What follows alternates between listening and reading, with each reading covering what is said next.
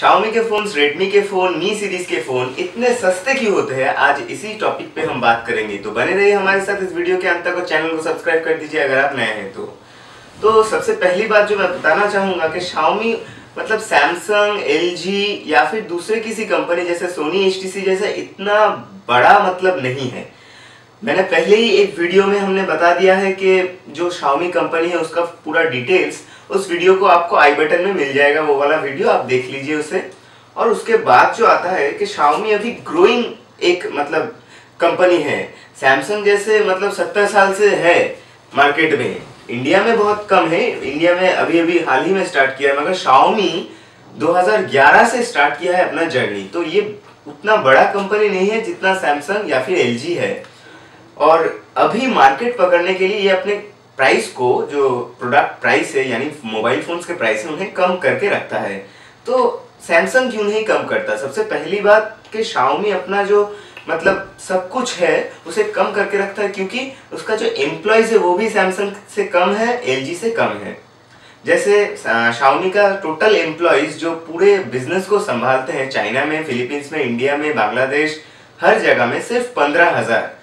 पंद्रह हज़ार एम्प्लॉयज़ पूरे शाउमी कंपनी को देखते हैं मेंटेन करते हैं। और यहाँ पे सैमसंग उस तरफ़ में हो गया, जैसे चार लाख नब्बे हज़ार एम्प्लॉयज़ को लेके।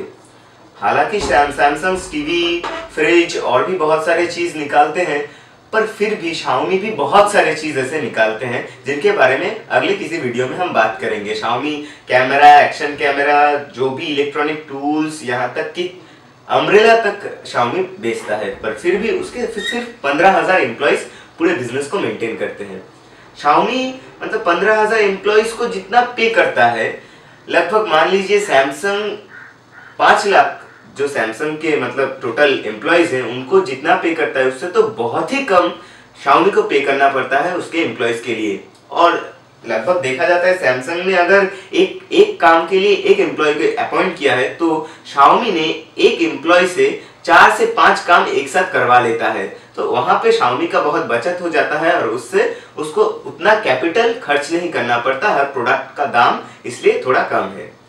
दूसरा जो पॉइंट निकल के आता है शाओमी के एडवर्टाइजमेंट आप सोचिए सैमसंग हो गया या फिर वीवो ओप्पो जो भी है जो भी कंपनी से वो एडवर्टाइजमेंट में इतना खर्चा करता है कि आप क्या बताए रणवीर सिंह को, ऋतिक रोशन को अगर इतना ज़्यादा पैसा दे देंगे, पाँच करोड़, नौ करोड़, दस करोड़, यहाँ तक कि पंद्रह करोड़ अगर दे देंगे तो हर प्रोडक्ट जो आप लॉन्च कर रहे हैं, हर मोबाइल का जो पीक प्राइस है, वो भी थोड़ा इंक्रीज कर जाएगा। और शाओमी के मामले में ऐसा नहीं होता क्योंकि वो कोई मतलब कोई भी सेलिब्रिटी को या फिर कोई भी बहुत ही महँगा कोई एड नहीं बनाता है।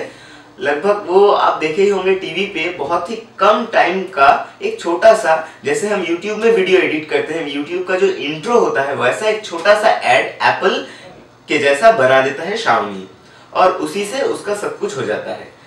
तीसरा जो पॉइंट है, वो है इसके आउटलेट्स शाओमी ऑफलाइन में बेचता बहुत ही कम है।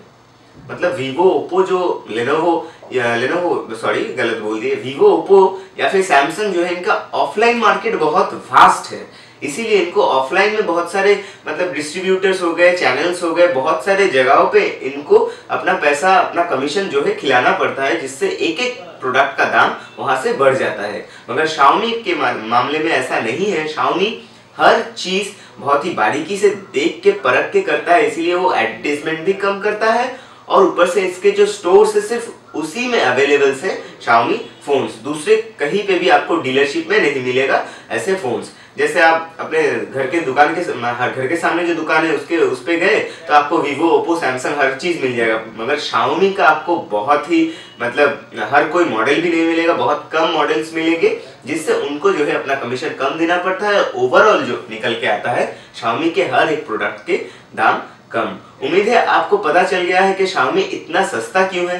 अगर आप मतलब पूछेंगे कि शाओमी का क्वालिटी इशू क्या है तो क्वालिटी इशू तो मैं बोलूँगा कि है नहीं। क्वालिटी इसीलिए वो बेहतर क्वालिटी दे रहा है, क्योंकि अगर शाओमी कोई दस हज़ार का फ़ोन ऑनलाइन में बेच रहा है, इसका मतलब कि उसे सिर्फ़ फ्लिपकार्ट या फिर अमेजोन को ही एक कमीशन देना पड़ता है, जो है मेन प्राइस का 11 टेन टू इलेवन परसेंट उससे ज़्यादा उसको नहीं देना पड़ता। मगर ऑफलाइन में अगर बात करेंगे तो उसको बहुत सारे चैनल्स को पैसे दे के दे के देते देते देते देते जाना होता है, जिससे उसे अपना जो एमआरपी है, उसे हर एक प्रोफोन के लिए बढ़ाना पड़ता है, जो सैमसंग में हमको देखने को मिलता है। सैमसंग या फिर दूसरे कोई भी ब्रांडेड या फिर अच्छे क्वालिटी के अगर हम बात करेंगे, अच्छे फोन्स की बात करेंगे तो उनका प्राइस नॉर्मली ज़्यादा होता है क्वालिटी बिल्कुल सेम होता है। जैसा शाओमी अपने low advertisement low few employees और बहुत ही कम ऐसे जो वास्ट चैनल है, उसको कंप्रेस करके शाओमी अपना हर प्रोडक्ट का दाम कम कर देते हैं। उम्मीद है आपको ये वीडियो पसंद आया है तो शेयर कर दीजिए। आई बटन में बहुत सारे वीडियो है, उन्हें देख लीजिए। और जो आखिर में जो वीडियो आएगा, उसे भी आप देख लीजिए। शुक्रिया।